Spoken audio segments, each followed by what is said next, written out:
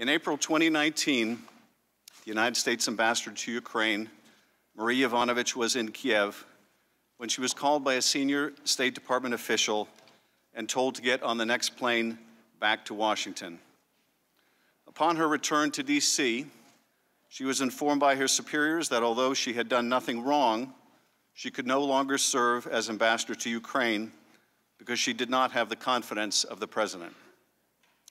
It was a stunning turn of events for this highly regarded career diplomat who had done such a remarkable job fighting corruption in Ukraine that a short time earlier she had been asked by the State Department to extend her tour. Ambassador Yovanovitch has been in the Foreign Service for 33 years and served much of that time in the former Soviet Union.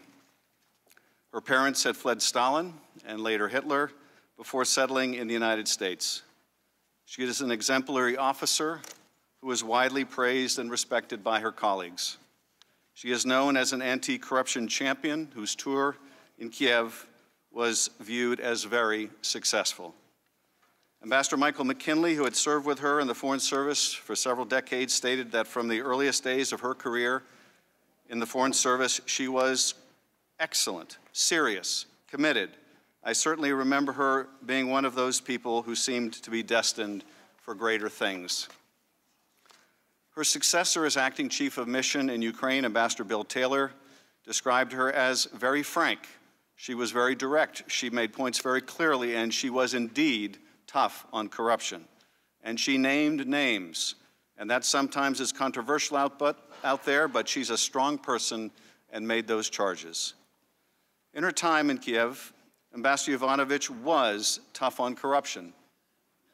Too tough on corruption for some, and her principled stance made her enemies.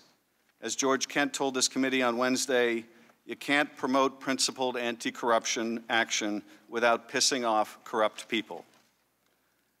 And Ambassador Yovanovitch did not just piss off corrupt Ukrainians, like the corrupt former prosecutor general Yuri Lutsenko, but also certain Americans, like Rudy Giuliani, Donald Trump's personal attorney, and two individuals now indicted who worked with him, Igor Fruman and Lev Parnas.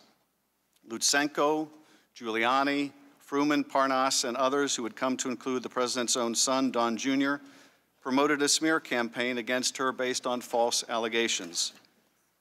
At the State Department, there was an effort to push back, to obtain a statement of support from Secretary Pompeo, but those efforts failed when it became clear that President Trump wanted her gone. Some have argued that a president has the ability to nominate or remove any ambassador he wants, that they serve at the pleasure of the president. And that is true. The question before us is not whether Donald Trump could recall an American ambassador with a stellar reputation for fighting corruption in Ukraine, but why would he want to? Why did Rudy Giuliani want her gone, and why did Donald Trump? And why would Donald Trump instruct the new team he put in place the three amigos, Gordon Sondland, Rick Perry, and Kurt Volker, to work with the same man, Rudy Giuliani, who played such a central role in the smear campaign against her. Rudy Giuliani has made no secret of his desire to get Ukraine to open investigations into the Bidens, as well as a conspiracy theory of Ukrainian interference in the 2016 election. As he said in one interview in May 2019, we're not meddling in an election, we're meddling in an investigation, which we have a right to do. More recently, he told CNN's Chris Cuomo, Of course I did, when asked if he had pressed Ukraine to investigate Joe Biden. And he has never been shy about who he is doing this work for his client, the president. One powerful ally Giuliani had in Ukraine to promote these political investigations was Lutsenko, the corrupt former prosecutor general. And one powerful adversary Lutsenko had was a certain United States ambassador named Marie Yovanovitch. It is no coincidence that in the now infamous July 25th call with Zelensky, Donald Trump brings up a corrupt Ukrainian prosecutor and praises him. Against all evidence, Trump claims that this former prosecutor general was very good and he was shut down, and that's really unfair. But the woman known for fighting corruption, his own former ambassador, the woman ruthlessly smeared and driven from her post, the president does nothing but disparage, or worse, threaten. Well, she's going to go through some things, the president declares. That tells you a lot about the president's priorities and intentions.